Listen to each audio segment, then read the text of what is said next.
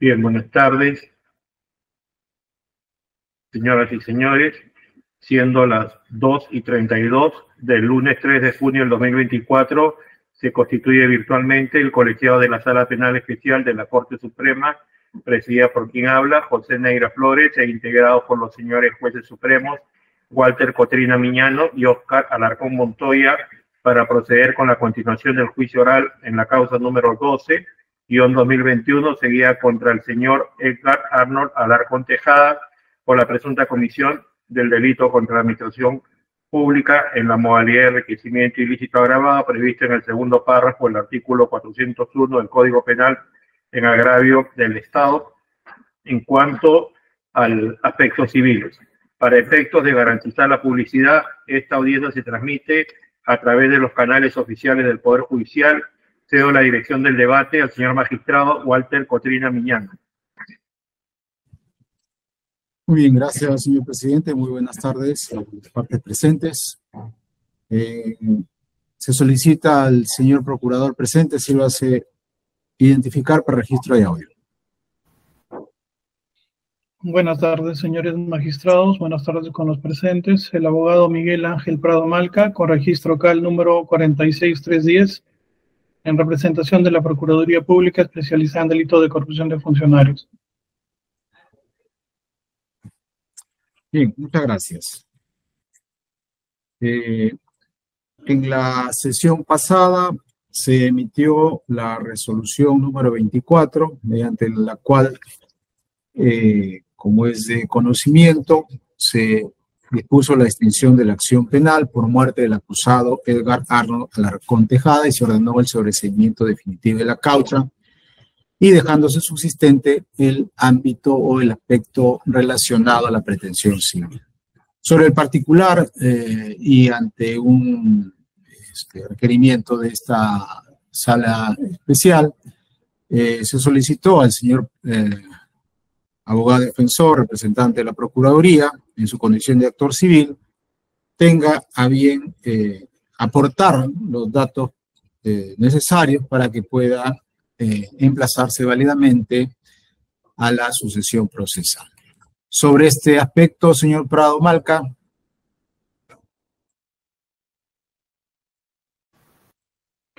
Sí, señor magistrado, eh, con el escrito correspondiente, la Procuraduría hizo llegar a la Sala Penal Especial de la Corte Suprema lo concerniente a los datos relacionados con los familiares del señor Edgar Arnold Alarcón Tejada, quienes serían sus hijos mayores de edad, y la señora uh, Gordillo Andía, que tenía la calidad de esposa del señor Alarcón Tejada. Asimismo, se hizo la búsqueda correspondiente en el sistema de registros públicos en relación a la verificación si existía el procedimiento de una sucesión intestada realizada por cualquiera de los este, herederos o sobrevivientes del señor Alarcón Tejada, no, encontrando ninguna documentación o registro del mismo en los registros correspondientes. Lo mismo que se hizo dar a conocer en el escrito eh, de que se presentó a la sala. Entonces, la, la, única documentación que se pudo recabar fueron los, las fichas RENIEC, de tanto de la señora Gordillo Andía como de los señores Alarcón Gordillo, que son los hijos mayores de edad del señor Alarcón Tejada. No habiendo ningún otro documento que determine la existencia de una sucesión eh, por parte del, en este caso del señor Alarcón, que esté en curso. Eso es lo único que la Procuraduría pudo determinar en relación a la búsqueda de la información en los canales oficiales, señor director de debates. Muy bien, su petición. Ah, aportado, información? Sí, señor director de debates, habiendo aportado en relación a justamente tratar de identificar la sucesión procesal era que se corra traslado a los señores herederos, en este caso del señor Alarcón Tejada, para determinar si se van a constituir en, este, en una sucesión procesal en el presente proceso. Entonces era para notificarles a los señores eh, Andía Gordillo, que es la señora esposa del señor Alarcón Tejada, y a dos hijos mayores de edad, Alarcón Gordillo, a fin de, de determinar si van a continuar eh, con una representación legal en, en el presente proceso. Muy bien. Muy bien, en efecto, de los antecedentes que se nos ha alcanzado por parte de la señora relatora. En efecto, lo expresado oralmente por el actor civil eh, también encuentra, eh, se encuentra eh, contenido en un escrito presentado ante la mesa parte de esta sala, así como también anexa en, forma de consulta RENIEC las tres fichas de las personas antes aludidas. Bien, entonces, sobre la base de esta eh, solicitud, esta sala pasa a, expedir la resolución correspondiente. Eh, permítanos eh, hacer un breve paréntesis, señor procurador, y regresamos para emitir la resolución. ¿Ya? Un momentito, por favor. Correcto, señor Muy bien. Presidente. Bien, vamos a reiniciar la sesión. Son las 15 horas con un minuto. ¿ya? Adelante, doctor Cotrina, por favor. Gracias, presidente.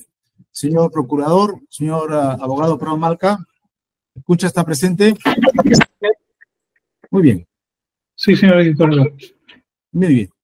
Luego de haber escuchado su eh, solicitud en función de los aportes eh, proporcionados con la documentación consistente en la ficha de RENIEC. Eh, esta superior, este, esta sala especial de la Corte Suprema pasa a expedir la siguiente resolución. Resolución número 25. Autos vistos y oídos la solicitud del actor civil representada por el abogado de la Procuraduría Especializada en Delitos de Corrupción de Funcionarios y considera, primero, mediante resolución número 24, se declaró la extinción de la acción penal por muerte del acusado Edgar Arnold Alarcón Tejada y se ordenó el archivamiento definitivo del proceso en este extremo y con relación a la acción civil, se requirió al actor civil proporcione la información necesaria para el debido emplazamiento de la sucesión procesal del fallecido emplazado. Segundo, el actor civil, con relación a la sucesión procesal, pone en conocimiento este colegiado supremo que conforme a la información de registros públicos, a la fecha no se tiene ninguna sucesión inscrita o declaratoria de herederos del causante Edgar Arnold Alarcón Tejada y presenta las fichas de Renier de María Lilia Gordillo Andía, Edgar Alarcón, Edgar Arnold Alarcón Gordillo y Guillermo Alexander Alarcón Gordillo, cónyuge e hijos que son personas llamadas a la sucesión del citado causante, a fin de que sean notificadas como sucesores procesales. Tercero, en el examen de los actuados por este órgano jurisdiccional, se verifica que también son hijos del fallecido Edgar Arnold Alarcón Tejada, María Lilia Alarcón Gordillo, de 21 años de edad, identificada con DNI 74 88 29 21. Y los menores, Briana Macarena Alarcón Mejía, con DNI 6007-5535 y Diego Andrea Alarcón Mejía con DNI 6007-5536 de 17 años. Estos dos últimos nacieron en las relaciones extramatrimoniales con doña Marcela Emilia Mejía Franco, identificada con DNI 060-72-503 conforme se desprende del dictamen pericial contable financiero cuadro 62 de viajes migraciones de folio 1705 del tomo 4 del cuaderno de prueba y de la carta del Colegio Reina del Mundo de fecha 28 de octubre del 2021 en la que se anexan las boletas de venta de matrículas de los menores hijos y que obran de folios 46 a 48 del tomo 1 respectivamente. Asimismo, de las fichas de RENIEC recabadas por relatoría.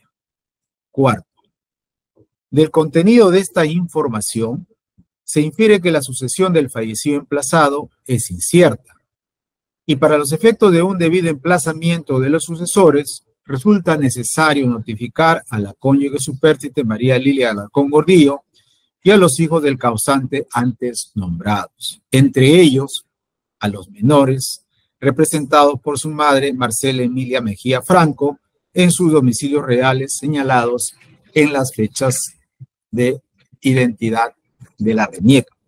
Y también a las personas inciertas con vocación hereditaria del citado causante mediante edictos, conforme lo prevé el primer párrafo del artículo 165 del Código Procesal Civil, en el portal web del Poder Judicial y en el diario oficial El Peruano, por el periodo de tres días hábiles, según lo previsto en los artículos 167 y 168 del citado Código, para que comparezcan como sucesores en este proceso en el plazo de 30 días hábiles, bajo apercibimiento de nombrarse un curador procesal en caso de incumplimiento. Quinto, es necesario enfatizar que en relación a la acción civil, en el fundamento 31 del acuerdo plenario número 4 2019, slash CIJ 116, se estableció como doctrina legal que clausurada la pretensión penal tras el auto de sobreseimiento, en el acto oral solo se debatirán actuación probatoria y alegación sobre ella, la pretensión civil, con la intervención como parte demandante del actor civil. Es decir, esta etapa sobre el extremo civil debe dilucidarse bajo la regla del juicio previstas en el Código Procesal Penal. Sexto, el artículo 360, inciso tercero del Código Procesal Penal, estatuye que cuando la suspensión del juicio oral exceda de ocho días hábiles, se producirá la interrupción del debate y se dejará sin efecto el juicio. Como se sabe, el principio de continuidad del juicio persigue evitar que los actos cumplidos durante el debate vayan a ser deformados en cuanto a su recuerdo por jueces, fiscales o defensores debido al intervalo de tiempo transcurrido desde que se realizaron hasta que el debate se reanude. Cita Yole Rodríguez, Javier, proceso penal comentado, segunda edición, editorial jurídica San José, página 333. El vencimiento del plazo legalmente establecido en principio y como regla general ocasiona que se deje sin efecto el juicio, o lo que es lo mismo, que se anule lo actuado para su reanudación consiguiente como lo precisa el fundamento sexto del recurso de casación número 2872-2022, la San Martín, de fecha 21 de julio de 2023, expedido por la Sala Penal Permanente. Séptimo, en el presente caso, la última sesión con la concurrencia de las partes, cuya presencia es obligatoria, se llevó a cabo el 10 de mayo de 2024, en la que se efectuó la lectura de una parte de las pruebas documentales admitidas. Y en la sesión de los días 22 y 23 de mayo se tomó conocimiento del fallecimiento del, acusado y se declaró la extinción de la acción penal dejándose subsistente la acción civil. En esta fase del proceso, es imprescindible proceder al debido emplazamiento y comparecencia de la parte legitimada pasiva. Y para ello, se requiere de un plazo extensamente mayor a los ocho días hábiles, que es el plazo máximo de suspensión del juicio. Y ante el transcurso de ese plazo, desde la última sesión de la actuación probatoria y ante la imposibilidad de continuar el juzgamiento para dilucidar el extremo civil, hasta que se establezca la relación jurídico-procesal con la parte legitimada pasiva, se debe dejar sin efecto el juicio por la interrupción del debate debido a ese causo fortuito y reservarse el proceso esto es el señalamiento de nueva fecha para su realización hasta la comparecencia de la parte legitimada pasiva con el objeto de preservar el derecho de defensa de, de esta parte que conforma el debido proceso. Resolución. Por estos fundamentos, la sala, esta sala especial de la Corte Suprema resuelve dejar sin efecto el juicio respecto a la pretensión civil solicitada por el actor civil, representada por la Procuraduría especializada en delitos de corrupción de funcionarios por interrupción del debate y reservar el proceso, esto es el señalamiento de nueva fecha hasta el debido emplazamiento y comparecencia de la parte legitimada pasiva. Notifíquese a María Lilia Gordillo Andía, Edgar Arnold Alarcón Gordillo, Guillermo Alexander Alarcón Gordillo, María Lilia Alarcón Gordillo y a Marcela Emilia Mejía Franco, en representación de sus menores hijos, Briana Macarena Alarcón Mejía y Diego André Alarcón Mejía, en sus domicilios reales señalados en las fichas de RENIEC, y también a las personas inciertas con vocación hereditaria el fallecido Edgar Alarcón Tejada, a quienes se le notifica mediante dictos conforme lo prevé el primer párrafo del artículo 165 del Código Procesal Civil en el portal web del Poder Judicial y en el Diario Oficial El Peruano por el periodo de tres días hábiles, según lo previsto en los artículos 167 y 168 del citado Código, bajo apercibimiento de nombrarse un curador procesal en caso no comparezcan los sucesores a este proceso en el plazo de 30 días hábiles. Agréguese a los autos la ficha de RENIEC presentada por el actor civil y las recabadas por las relatorías de esta sala. Por último, en la última sesión del día 23 de mayo, mediante resolución número 4, como se informó, se declaró la extinción de la acción penal por muerte del acusado Alarcón Tejá y se ordenó el archivamiento definitivo. Y esta resolución, al haber sido puesta en conocimiento de las partes y al no haberse eh, impugnado entre el plazo legal, se dispone, se tenga por consentida dicha resolución. Bien, esta es la que se ha expedido en mérito a su petición. Señor Prado Malca, ¿algún requerimiento? ¿Alguna solicitud? Sí, señores magistrados, Procuraduría está conforme con la resolución únicamente le solicita a la presidencia de su sala se nos notifique con las resoluciones 24 y 25 que han sido emitidas en la presente fecha para el control debido y el análisis de las mismas. Sin embargo, en ambas estamos este, conformes con lo que resuelve la sala penal especial de la Corte Suprema. Muy bien, presidente, eh, es atendible su pedido, podemos disponer lo que está solicitando. Claro que sí, doctor Batrilla. Colega Alarcón. Conforme, magistrado. Bien, como se solicita entonces, este, eh, remítase por la Secretaría los, las copias de las resoluciones solicitadas que se, han pedido, que se han expedido en la audiencia de su propósito. Con ello damos por culminada entonces esta sesión y dejamos en la conducción del debate al presidente de esta sala. Señor Neira. Muchas gracias, doctor Cotrina. Entonces, hemos concluido, ya se ha leído la resolución motivada, los términos y por lo tanto eh, esperaremos pues a que se pueda cumplir el procedimiento que se ha indicado y en esa oportunidad eh, proseguiremos conforme lo establece la ley. Muchas gracias por su presencia, señor procurador. Buenas tardes. Terminamos siendo las 15 y 13 de la tarde. Buenas tardes, señores magistrados. Buenas tardes. Buenas tardes, presidente. Buenas tardes con todos.